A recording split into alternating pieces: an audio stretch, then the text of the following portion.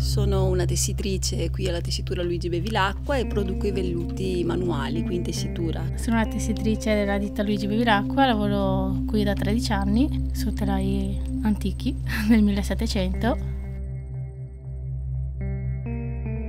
Ho fatto la scuola all'Istituto d'Arte, poi tramite colleghe che lavoravano già qui, che anche loro hanno fatto la scuola, siccome c'era bisogno ci hanno contattato e abbiamo iniziato con uno stage. Sono quasi 17 anni che lavoro qui, per curiosità finita la scuola sono venuta a vedere cos'era questa realtà.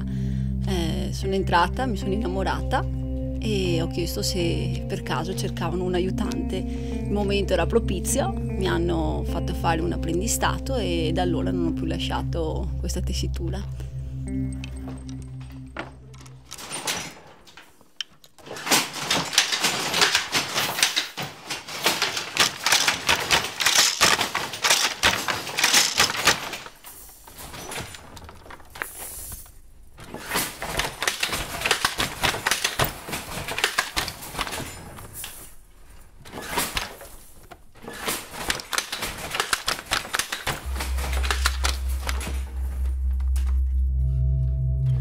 Apprendere questo lavoro non è così semplice, in quanto eh, prima di produrre la stoffa c'è tutto un iter da seguire per imparare proprio come è formato il telaio, come è composto, eh, come proprio passano i fili attraverso il telaio, come aggiustarli, quindi ci sono tante tipologie di nodo da imparare.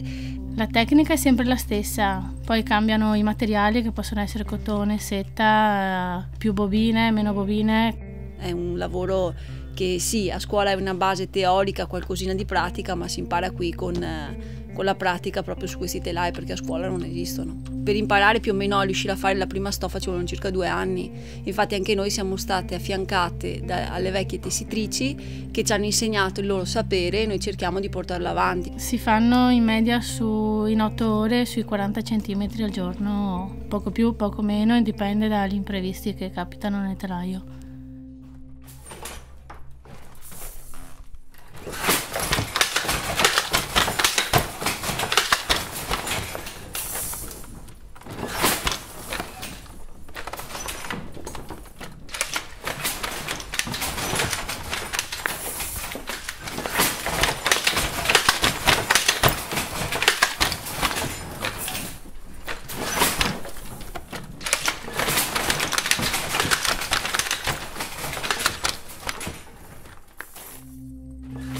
Noi produciamo arte, facciamo pezzi unici, facciamo una cosa che non è che ha valore nel tempo. Portiamo avanti una cosa che nessun altro sa fare. Sono lavori unici. Perché quando tu fai la stoffa, anche se è comandata da una scheda che alzerà sempre quei fili, ci sarà sempre un particolare che sarà diverso, perché è fatto dall'uomo e non può essere perfetto. Perché eh, anche tu, tessitrice, non sei sempre la stessa, eh, non sei uguale tutti i giorni, quindi magari eh, un giorno hai più forza, meno forza, quindi sei tu che regoli la tensione degli orditi e magari un giorno può venire un po' più piccolo, un po' più lungo il disegno. Anche de, magari qua, il suono, quando lavoriamo noi sì siamo attenti, però ascoltiamo anche il suono perché quando sentiamo che cambia vuol dire qualcosa non va e dobbiamo capire cos'è che non va e quella è la, anche la bravura della tessitrice, ascoltarsi mentre lavori, perché se tu riconosci un minimo cambiamento puoi subito procedere a sistemare in modo che non venga un segno, una fallatura sulla stoffa.